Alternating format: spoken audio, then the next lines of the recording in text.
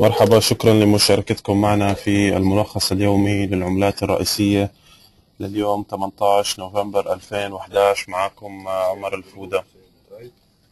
السوق ما زال في حالة هبوط ورأينا محاولته أمس مرة أخرى في مواصلة الهبوط وكسر مستويات الدعم اللي هي التي تكون على أدنى أسعار شهدناها منذ أشهر. آه، ولكن يبدو أن هنالك بعض الصعوبة في كسر هذه المستويات.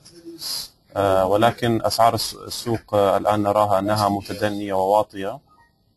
فسيكون السؤال بالنسبة للتداول اليوم والأسبوع المقبل هل سنرى كسر آه، أدنى أسعار شهدناها لهذا الأسبوع أم سيبدأ السوق في حالة ارتفاع وارتداد من الهبوط الذي شهدناه إذا راجعنا ماذا حصل على أهم عملة نتبعها وهي عملة اليورو مقابل الدولار آه، يوم الاثنين بداية الأسبوع فتح السوق على مستوى 1.3800 آه، وخلال أربعة أيام آه، السابقة شهدنا سقوط اليورو 400 نقطة. كان كل يوم من الأسبوع السابق كان في حالة هبوط. وأدنى سعر الآن على اليورو 34 20 وهذا المستوى التي ننتظر ننتظر كسره حتى نقول أن آه، حالة الهبوط ستستمر. طبعا ذلك حالة الهبوط بشأن موضوع اليورو آه، بشأن مخاوف وعدم معرفة ماذا سيحصل بالنسبة للحكومات الجديدة في إيطاليا واليونان آه، مما سبب ضغوطات ضغوطات على السندات التي تصدر من هذه البلدان. الذي سبب ارتفاع تكليف التمويل عليهم إلى مستويات آه، لا تحتمل. بالنسبة للجدول الاقتصادي لا يوجد إلينا أي بيانات اقتصادية اليوم فربما لا نرى كسر أي مستويات دعم أو مقاومة هامة حتى آه، نقول حتى نعرف ماذا سيحصل. هل ارتفاع أم هبوط؟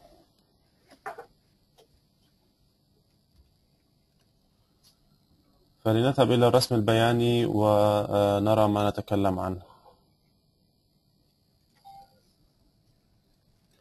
بالنسبة لليورو دولار آه، إذا فتحنا الرسم البياني على المدى الساعة آه، نرى الهبوط هنا آه، الذي تكلمنا عنه الذي انتهى عند سعر الدعم الهام الذي ننتظره الآن وهو على 34 20 آه هذا السعر تقريبا حصل آه يوم 16 11 وأيضا 17 11 ورأينا السوق آه يوم أمس اقترب من هذه المستويات ولكن آه رد في حالة ارتفاع. ولكن الآن هو آه، يتداول في نطاق ضيق ما بين ال 35 55 و 34 20 في في احتمال كسر أي من هذين المستويين سيكون آه، الاتجاه أوضح إلينا. ولكن بسبب عدم وجود أي أخبار اقتصادية ستصدر اليوم ربما آه، آه، لن نرى السوق يأخذ أي قرار آه، في رفع أو هبط هذه العملة. ولكن في حالة رأينا أن فشل مواصلة الهبوط إلى مستوى الدعم وكسر 35 55 التي هي تشكل تشكل منطقة المدار لدينا لليوم. وأيضا هي هي تشكل منطقة مدار لأنها أعلى سعر شهدناه في هذا الأسبوع تقريبا يوم 16 11 و آه، نعم يوم 16 11 أعلى سعر كانت لدينا آه، هذا المستوى. فيجب كسر أعلى سعر حتى نقول أن الأسعار عالية وستستمر في الصعود. بعد هذا المستوى يكون لدينا كما ترون هنا فشل آه، فشل العملة في الارتفاع فوق هذا المستوى يوم 15 11 على 36 40 آه، ستكون منطقة المقاومة التالية التي تشكل صعوبة في حالة الارتفاع. ولكن مبدئيا الآن السعر في حالة تراوح كما ترون إذا ذهبنا إلى الرسم البياني على الأربع ساعات لنرى القصة منذ منذ بداية بداية هبوط العملة. وذلك بدت في آخر شهر أكتوبر. كما نرى الهبوط بدأ من 42 خمسين إلى أربعة وثلاثين عشرين. آه، سيكون هذا وهنالك بعض الآراء أن سنرى الهبوط آه، إذا كسر مستوى 34 20 أدنى سعر لهذا الأسبوع سنرى مواصلة الهبوط إلى 31 50 التي هو كانت بداية الارتفاع في شهر أكتوبر. أي شهر أكتوبر كان ارتفاع 11000 نقطة. من 31 50 إلى 42 50 ومن آه، ومن خلال أول هذا الشهر نوفمبر نحن في حالة هبوط. فهل سنرى السؤال سيكون في الأسابيع القادمة هل سنرى مواصلة الهبوط ومسح كل الارتفاع التي شهدناه في أكتوبر؟ وذلك طبعا يعتمد أكثر على عوامل اقتصادية من عوامل فنية. آه، العملة الثانية وهي الاسترليني مقابل الدولار. نفس تحركات اليورو أي بعد الهبوط آه، وتوقف الهبوط. نحن الآن مبدئيا في حالة تراوح ما بين مستويين يجب كسرهما لتحديد لتحديد مصير العملة. آه، أدنى سعر في حالة الهبوط منذ أول شهر نوفمبر كان عند 56 90 والآن هو شيئا ما في حالة الارتفاع ويمكننا رسم خط اتجاه آه، تحت هذا الارتفاع.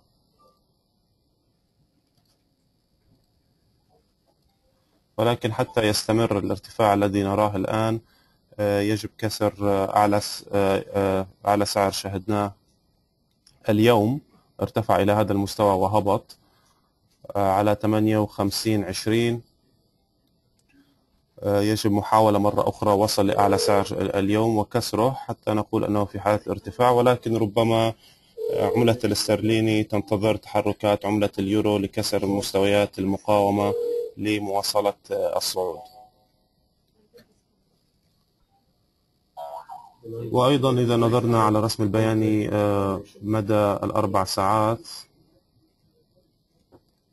نرى أن نفس قصة اليورو تقريبا أي شهر أكتوبر كان في حالة ارتفاع وما بعد آه، تقريبا أول شهر 11 آه، في حالة هبوط.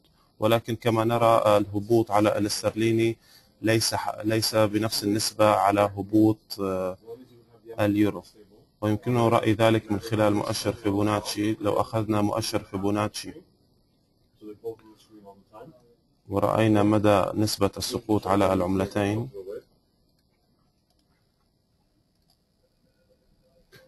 نرى أن الاسترليني آه، وجد دعم تقريبا عند 50% آه، من الاتجاه المعاكس للارتفاع. وذلك ربما ما سبب دعم أي أنه وصل إلى 50% نسبة من مؤشر فيبوناتشي. إذا ذهبنا إلى عملة اليورو نرى أن أنه نرى أن الهبوط كان على نسبة أكثر من 50%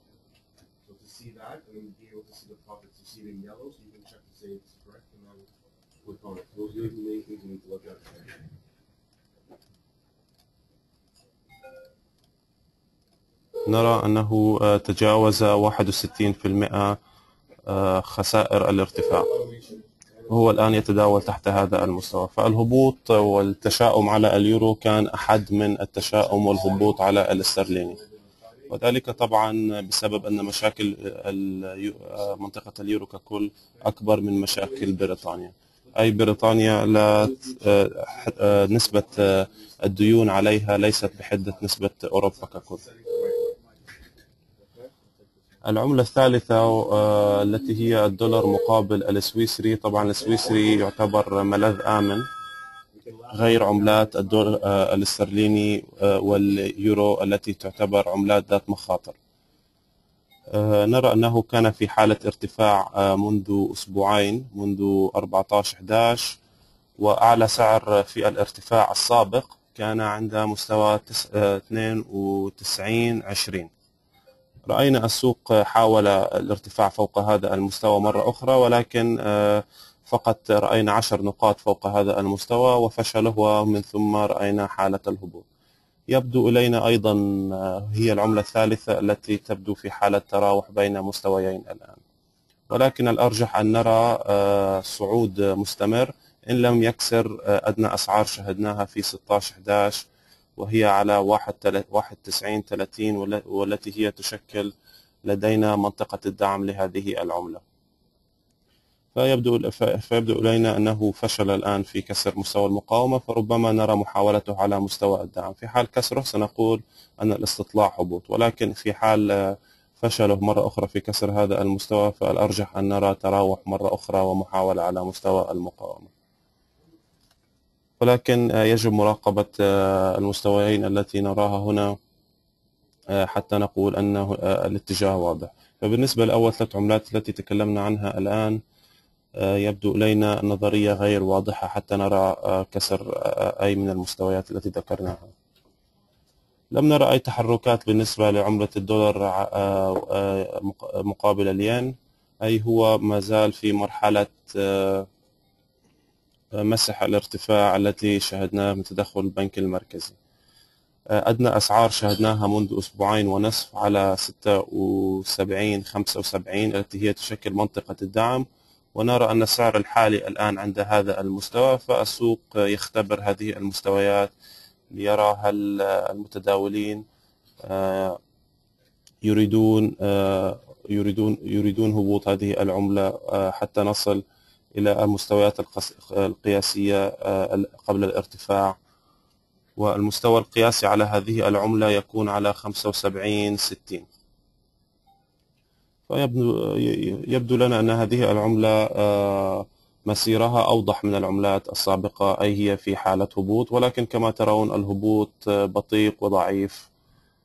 آه، وربما يأخذ وقت أكثر حتى نرى آه، آه، مسح كل الارتفاع التي شاهدناه هنا. إذا استخدمنا مؤشر الفيبوناتشي لنرى مدى نسبة الهبوط نرى أنه تجاوز 61% من على مؤشر فيبوناتشي. وهو الآن عند منطقة دعم آه، التي كانت أدنى سعر آه، في يوم 14 11 إذا يوجد أي أسئلة يمكنكم طباعتها الآن.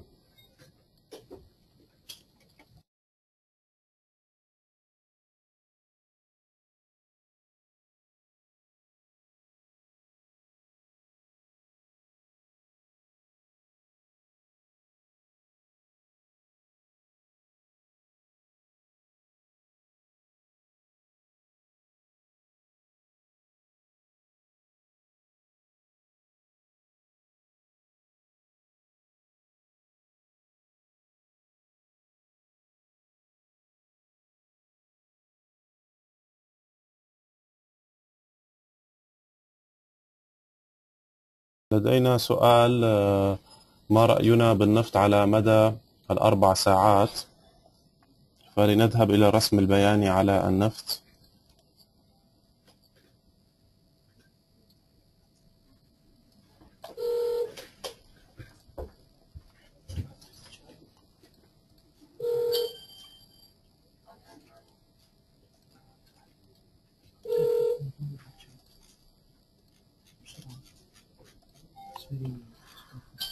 يبدو إلينا أنه في حالة الارتفاع واضحة وعندما نرى آه، ارتفاع كهذا الأفضل أن نرسم آه، قناة مرتفعة كما ترون هنا. رسم القناة يجب رسمها الخط الاتجاه الأدنى لهذه القناة يجب أن يلمس أدنى أسعار في هذا الارتفاع كما ترون هنا أي أدنى أسعار في حالة الارتفاع آه، يجب تضبيط القناة على هذا الأساس. آه، فمبدئيا الآن يبدو لنا أن الهبوط الذي شهدناه من مستوى المقاومة التي سنتكلم عنه الآن آه، لم الآن هو يلمس هذه الخط الاتجاه لهذه القناة ولم نرى كسره.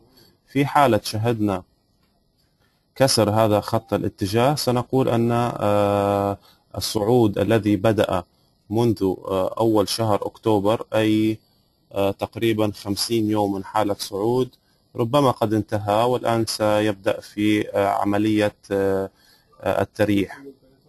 طبعا كل صعود في السوق نرى ارتداد ارتدادا فيه بنسب 30 أو 30 أو 50% وذلك لم نشهده الآن على هذه على هذا على هذه الأداة. فسيكون السؤال بالنسبة لهذه الأداة متى سيبدأ الهبوط والترييح من حالة الارتفاع؟ آه، إذا رسمنا مؤشر فيبوناتشي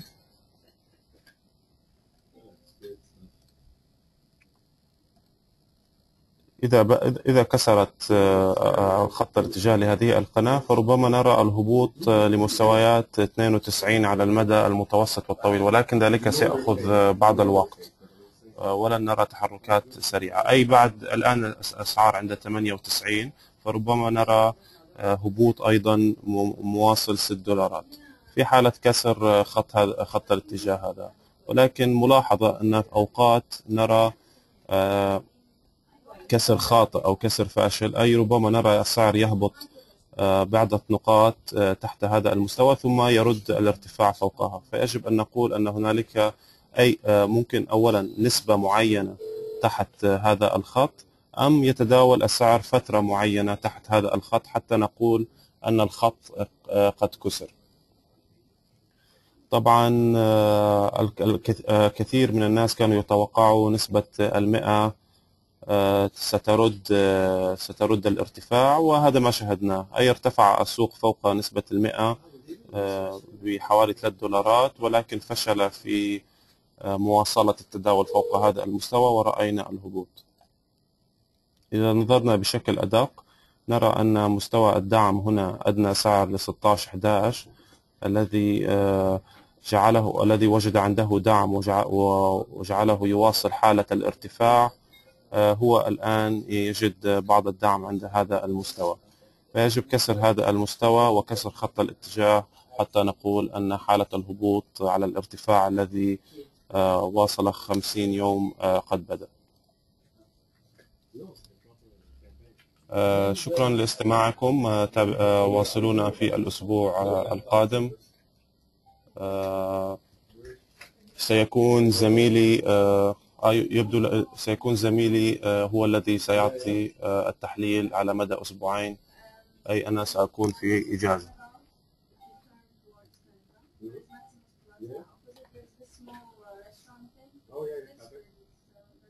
Yeah, guys stuff too.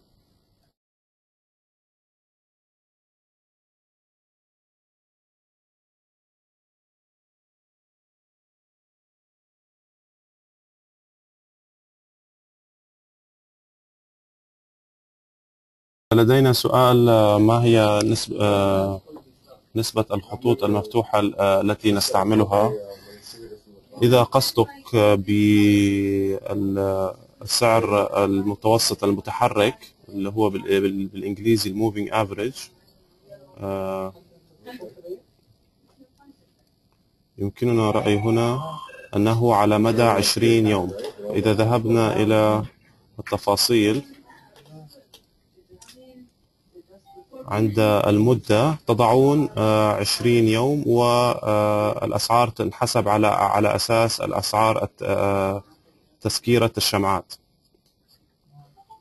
والسعر المتوسط المتحرك الثاني يكون على مدة تسع أيام. كما ترون هنا. وهذا يؤشر إلينا. أي إذا شهدنا السعر المتوسط المتحرك السريع على مدة تسعة أيام آه، هبط تحت آه، السعر المتوسط المتحرك على مدى العشرين يوم. سيكون مؤشر إلينا أن هنالك بعض التشاؤم والهبوط وثم معاودته فوق يكون النظرية عكسية.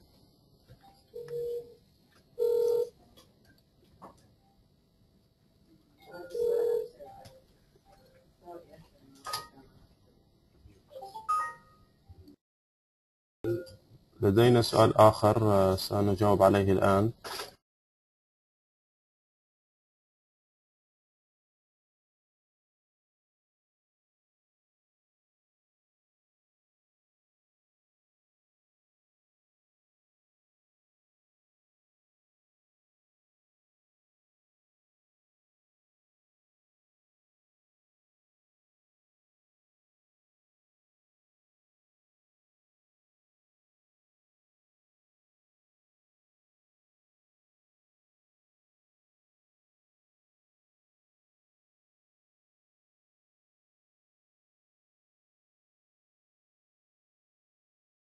لدينا سؤال آخر آه، وهي آه، أننا حسب ما فهمت السؤال أن ما هي آه، المؤشرات التي تستخدم على الفريمات المختلفة للوقت؟ آه، طبعا المؤشرات في العادة يمكن استعمالها في أي الرسم البياني على مدى أي وقت. آه، ولكن في العادة مثلا مؤشر فيبوناتشي أفضل استعماله على مدى أطول. آه، لنرى أن آه، الاتجاه الذي آه، واصل آه السؤال هو أي أفضل المؤشرات المستخدمة للفريمات الصغيرة؟ أي قصيرة المدى. يعني سيكون مدى الساعة أو النصف ساعة. طبعا مؤشر الفيبوناتشي ربما لا ينفع لهذا. أكثر يكون يستخدم لل للمدى المتوسط والطويل ولكن يمكن استخدامه ولكن هو في العادة يستخدم بالنسبة للمدى المتوسط والطويل. بالنسبة للساعة والنصف ساعة يمكنكم استخدام مؤشر الزخم وهو ال RSI التي هو آه، يحسب في طريقة معينة لنرى آه، عمليات الشراء بمقارنة مع عمليات آه، البيع. وكما نرى في العادة يوضع المستويين على 70 في المئة و30 في المئة. أي لو رأينا أن المست... آه، هذا المؤشر ارتفع فوق 70 في المئة يكون مؤشر لدينا أن هنالك عمليات شراء مشبعة مما قد تؤدي إلى حالة آه، ارتداد على آه، العملة ومواصلة الهبوط. وأيضا العكس صحيح إذا سقط تحت نسبة 30 في المئة أي هنالك يوجد عمليات بيع كثيرة في الأسواق وربما نرى آه، ترييح من هذه العمليات. ويمكنكم طبعا استخدام آه، الذي تكلمنا عنه الآن السعر آه، المتوسط المتحرك. طبعا كل ما قصرنا المدة مدة الرسم البياني يجب تقصير مدة المؤشر أي من 20 يوم إلى 9 أيام إلى 5 أيام عدد الشمعات التي يعدها هذا المؤشر.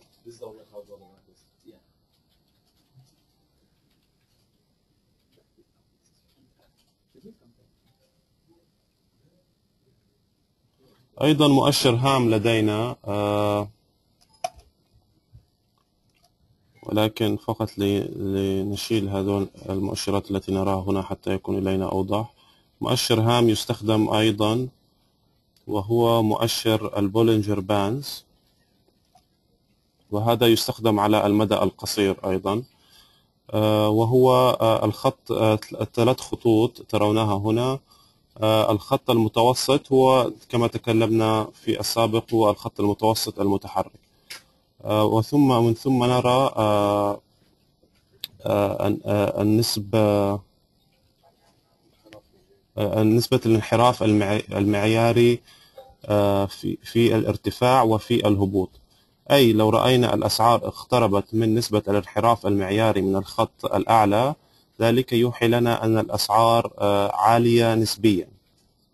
وما نرى إذا رأينا الشمعات آه، تسكرت فوق هذا الخط سيكون مؤشر لنا أن هنالك حالة تفاؤل وارتفاع.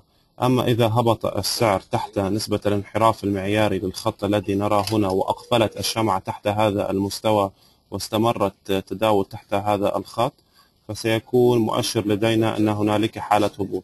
ويمكن اعتبار الخطوط التي نراها هنا وهنا آه، مستويات دعم ومقاومة. كما ترون أن نرى ارتداد السوق عندما وصل عند الخطوط التي نراها هنا وارتداده من هذه المستويات. هذا المؤشر أيضا آه، يوحي إلينا مدى نسبة التراوح آه، في الأسواق. أي عندما نرى أن الخطوط قد توسعت هنالك تراوح في الأسواق وحركات عنيفة. إذا رأينا آه، كما نرى هنا الخطوط صارت أدق. ذلك يوحي لنا أن لا يوجد اتجاه واضح وأن هنالك انحصار في تحركات الأسعار.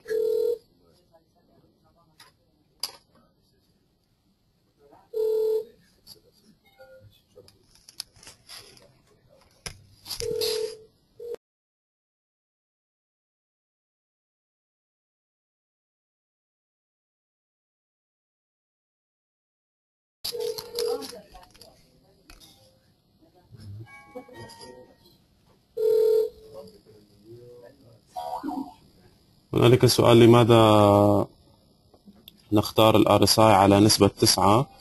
آه هذا ما نراه في العادة المستوى الذي يستخدمه المحللين. آه لا نعرف بالضبط آه مدى لماذا هذا المستوى ولكن هذا المستوى الأرجح الذي يستعملونه. فعلى المدى الطويل آه، طبعا يجب تغيير هذا المستوى ورفعه ولكن على المدى القصير الأفضل أن نستعمل مستوى تسعة. ولكن آه، لن تروا فرق كثير إذا إذا اختلفت الأرقام. آه، أي سيكون نسبة خفيفة في تغيرات التحركات على مؤشر ال RSI